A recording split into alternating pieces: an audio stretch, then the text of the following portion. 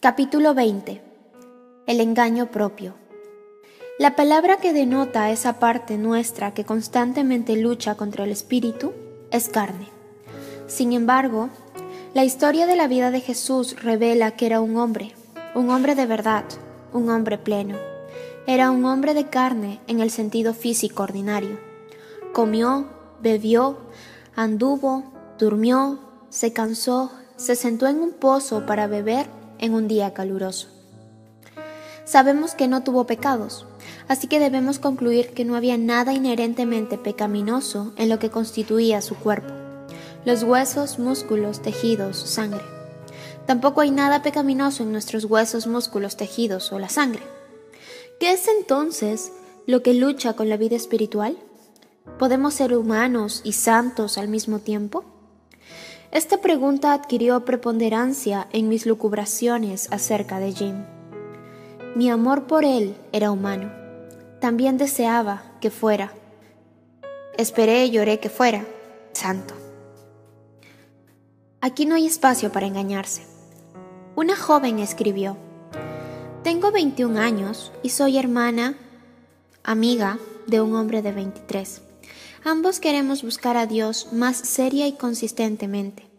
Jamás he estado comprometida con un muchacho cuyo mayor deseo para nuestra relación es amarme solo, puramente y edificarme en el Señor. Yo aprecio grandemente esta actitud, pero no he sido agradecida en mi respuesta, y gran parte de todo esto es completamente nuevo para mí, a pesar de que es la relación más maravillosa y sanadora que jamás haya tenido. La perplejidad viene cuando uno mezcla palabras como compromiso y relación con la idea de amar solo puramente con el propósito de edificar en el Señor. Es posible negar la sexualidad, la inclinación humana más fuerte y hacer espiritual lo que es completamente natural, y el hambre humana por el matrimonio. La joven no sabe cómo denominar esta relación, excepto hermana amiga. Por cierto, ella estaba mucho más interesada en este hombre que en cualquier otro con quien fuera su hermana o amiga. Cada hombre que conocía, supongo, caería en una u otra de estas categorías. Pero este de 23 años ocupaba en particular su atención. Su mayor deseo, me dice ella, era amarla solo puramente. ¡Bravo! Si con eso quiere decir amarla como cualquier cristiano ha de amar a cualquier otro cristiano, como miembro del cuerpo de Cristo, entonces, ¿por qué utilizar la palabra compromiso? Ella está comprometida con este muchacho. Tiene la relación más maravillosa y sanadora que jamás haya tenido. A mí, él me parece bastante especial. Tiene las marcas no de hermana, hermano o amigo amiga, sino de amante, amado. Probablemente no sabe si es amado o no, y no está admitiendo, al menos a mí, que lo ama, pero sus sentimientos son, ¿qué más? Sexuales. Pablo fue un hombre con los pies sobre la tierra. No se engañó a sí mismo en cuanto al poder de las mujeres sobre los hombres y viceversa. Conocía los impulsos, estaba familiarizado con las caídas y muy sensiblemente le dijo a los cristianos en Corinto, bueno le sería al hombre no tocar mujer, pero a causa de las fornicaciones, cada uno tenga su propia mujer y cada una tenga su propio marido.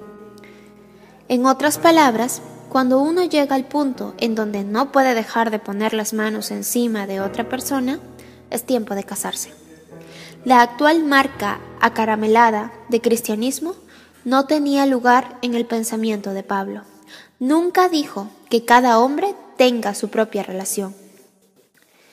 Mi padre le aconsejó a sus cuatro hijos que jamás dijeran te amo a una mujer hasta que estuvieran listos a seguir de inmediato con ¿te casarías conmigo? Tampoco deberían pensar en decir ¿te casarías conmigo? A menos que primero hayan dicho te amo. ¿Cuánto dolor y confusión se evitaría si los hombres siguieran esta regla? Jim, por supuesto, no la siguió. Me dijo que me amaba. No me pidió que me casara con él. Estaba emocionada, abrumada, devastada. Mejor saber que soy amada que no saberlo, pensé. Uno puede ambicionar a solas, pero saber que el amor es correspondido aumenta enormemente el anhelo por cumplimiento. ¿Puedo recomendar el plan de acción de Jin a otros? Ni en un millón de años. Me siento bastante segura de que él no hubiera querido que nadie edificara una doctrina sobre ello. Pero la situación era rara. No es que fuera llamado a una vida de celibato. No sabía si era de por vida. No necesitaba saber. Fue llamado a permanecer soltero, sin involucrarse, sin comprometerse, al menos hasta que tuviera experiencia misionera. Tenía razón para creer que había despertado el amor en una mujer dedicada y que podía confiarle la información que deseaba darle. Era un riesgo. Lo sabía, pero lo corrió. No me fui a arrojar desde un puente. Dios nos guardó. Pero me rasqué la cabeza y me apreté las manos en cuanto al asunto de lo humano versus lo santo. ¿Era posible amarlo tan intensamente como lo hacía y ser lo suficientemente pura como para desear nada más en el mundo que su santidad y su felicidad? Solo puedo decir que lo intenté. ¿Qué limita más que el hecho de que tus afectos no hayan sido plenamente mortificados a la voluntad de Dios? Escribió Thomas a Kempis en La imitación de Cristo. Mortificados, una palabra espantosa. Si mis afectos deben ser mortificados, ¿quiere eso decir que tienen que ser matados? ¿Quiere decir que son todos malos, pecaminosos y malvados? ¿Es malvado amar a un hombre o una mujer de manera distinta a una hermana o hermano o amigo? No hay manera de esquivar la etimología de la palabra mortificar. Viene del latín mortis, que significa muerte. Algunas versiones antiguas de Romanos 8:13 dicen que debemos mortificar nuestros miembros. La versión Reina Valera lo hace aún más directo. Mas si por el Espíritu hacéis morir las obras de la carne, viviréis. ¿Cuáles son las obras de la carne?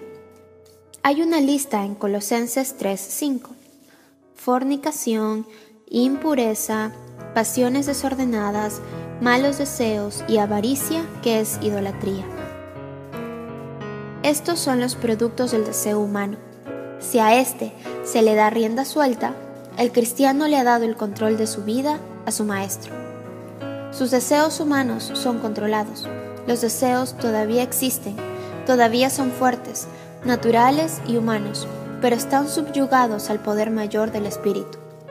Son purificados y corregidos a medida que vivimos día a día en fe y obediencia.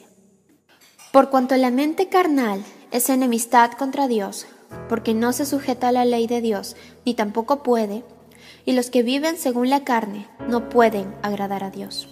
Mas nosotros no vivís según la carne, sino según el Espíritu, si es que el Espíritu de Dios mora en vosotros. Y si alguno no tiene el Espíritu de Cristo, no es de él. Pero si Cristo está en vosotros, el cuerpo en verdad está muerto a causa del pecado, mas el Espíritu vive a causa de la justicia. Y si el Espíritu de aquel que levantó de los muertos a Jesús mora en vosotros, el que levantó de los muertos a Cristo Jesús, vivificará también vuestros cuerpos mortales por su Espíritu que mora en vosotros. Así que, hermanos, deudores somos, no a la carne, para que vivamos conforme a la carne. Eso lo dice todo. Dos naturalezas, mayor y menor, carne y espíritu. Lo menor no tiene reclamos sobre nosotros. El incrédulo niega esto. Escucha las insinuaciones de la carne, capitula, insiste que tiene que hacer lo que lo hace sentirse bien, ir con la corriente. El cristiano mortifica la carne, sometiéndola a la autoridad de Cristo, a su autoridad en cada área de su ser, incluyendo su sexualidad dada por Dios, pero peligrosa. Es peligrosa como la dinamita. El fuego y el agua también son dones de Dios, pero cuando están fuera de control, el resultado es la devastación. La carta citada antes, en este capítulo, es parecida a muchas que he recibido. En ella hay confusión en cuanto a las relaciones.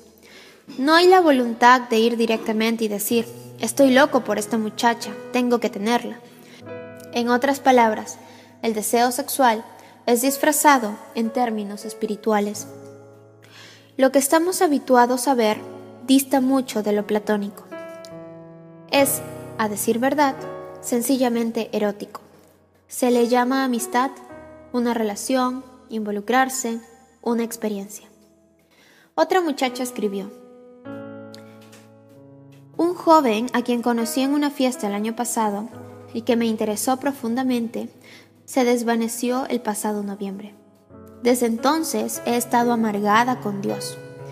La amargura y el enojo con Dios me han causado una actitud indiferente hacia muchas personas a mi alrededor, incluyendo a las de la iglesia. La soñadora, mitad derecha de mi cerebro, me dice que jamás estaré realmente satisfecha, sexualmente o de cualquier manera a menos que me case. ¿Cómo puedo vencer mi amargura hacia Dios? ¿Cómo puedo vencer mi insaciable deseo de saber por qué Dios actúa como lo hace en lugar de simplemente confiar en Él? ¿Me dirá Dios en algún momento qué está haciendo ese joven en la vida? ¿Sabré en algún momento si es cristiano?